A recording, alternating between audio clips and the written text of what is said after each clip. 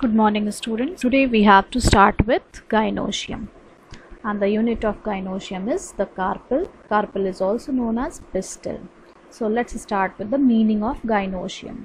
So from ancient Greek word this word gyne is taken and the meaning of gyne is women and oikos it means house. So the house of women is known as gynoecium and it is the most commonly used collective term for the female part of the flower.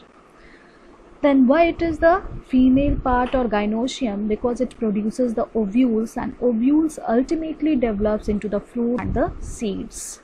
The gynoecium is the innermost whorl of the flower and it consists of one or more pistils or carpels. Then what is carpel or pistil? Carpel or pistil is the unit of the gynoecium. The parts of carpel or pistil are three basic parts. There are three basic parts of the carpel or pistil that is stigma, style and ovary. Okay. So first we have to see about stigma. Stigma is the terminal. Terminal it means it is present at the tip so it is the terminal knob-like part divided into two or more hairy, feathery, sticky and why it is sticky? It is sticky because of the presence of the glandular papillae and its function is to its function is to act as a platform to receive the pollen grain. So what is the location of the stigma? It is the terminal portion of the uh, carpel or pistil. Then what is the function of the stigma? It is acting as a platform to receive the pollen grain.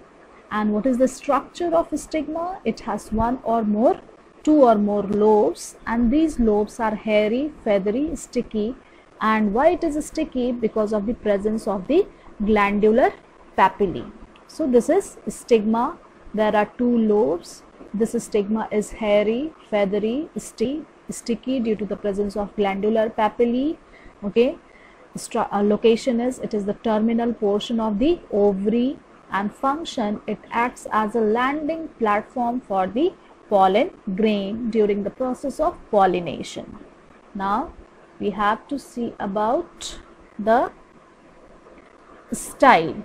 The next part of the carpel is the style. So style is narrow, slender, tubular structure. Just see in the figure here. Style is the narrow, narrow, slender, tubular structure. Okay. Then location of style is in between the stigma and the ovary and the function of style it acts as a passage for the pollen to move towards the ovary. Now what is ovary? Ovary is the solen base of the carpel. So if location is asked, it is the base of the. Structure, it is the solen ovule shaped, oval shaped structure. Then what is locules? Locules are the inner chambers of the ovary. Then what is placenta? Placenta is the structure through which the ovules will be attached to the ovary wall and function of ovary is it provides ovules for the process of fertilization and it is also the site for fertilization because it is the place where the fertilization will take place. So see here ovary ovary is the solen base of the carpel or pistil. Ovary will have ovules. Ovules are the female reproductive units. Okay and this ovule is attached to the ovary wall through a structure that is known as placenta. And this ovary is divided into many chambers. You see here the chambers are there. And these chambers are known as locules. Okay. now we have to see what is monoecious and what is dioecious. So as the term suggests oecium you already know now. Oecium it means house. Mono it means single. Di it means double or two so in this case, we are basically discussing about the staminate or pistillate flower that is the unisexual flower.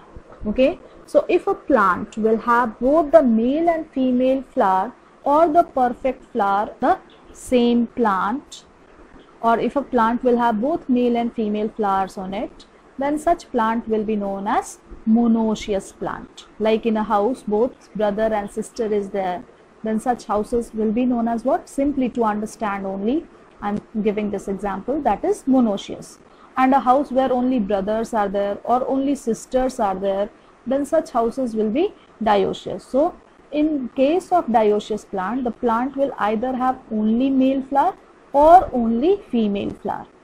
So in the second difference is what both sexes are found on the same plant. So the plant will go for self-fertilization or self-pollination. Whereas in case of dioecious plant, a singular sex is found on each individual plant. So male plant will be separate and the female plant will be separated. So in that situation, the plant will have to opt for cross-pollinate. Whereas in case of monoecious plant, the plant may go for self-pollination. Then another way to understand it, staminate and carpellate. Staminate it means the male flower, carpellate it means the female flower are located on the same plant. Example is corn. Dioecious plant when the staminate and carpellate flowers are on separate plants then such plant is known as dioecious plant. Example is date. Okay. Now here you can see this is corn plant. This is having the male flower and the female flower on the same whereas in the date palm this is the male spathe and this is the female flower. So these two plants are these two parts that is the male part and the female part are put on two different plants. Now what is inflorescence? Inflorescence is the arrangement of the flower on the floral axis or peduncle which results in the cluster or groups that is known as inflorescence. Then what is placent, uh, placentation? Placentation, it is the arrangement or the pattern of the attachment of ovules within the ovary is known as placentation.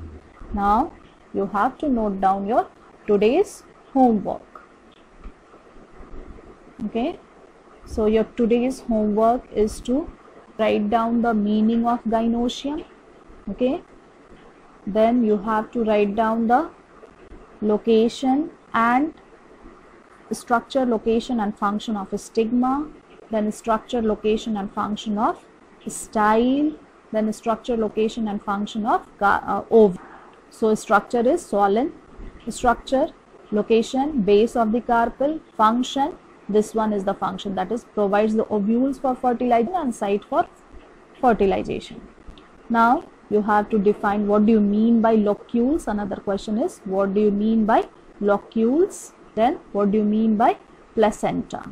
Then after you have to draw this diagram and after that you have to write down the difference between the monoecious and dioecious plant. You can use any of the slide okay either from this or from this. Then you have to write down the definition of inflorescence and then at last you have to write down the definition of placentation. Don't write types over here.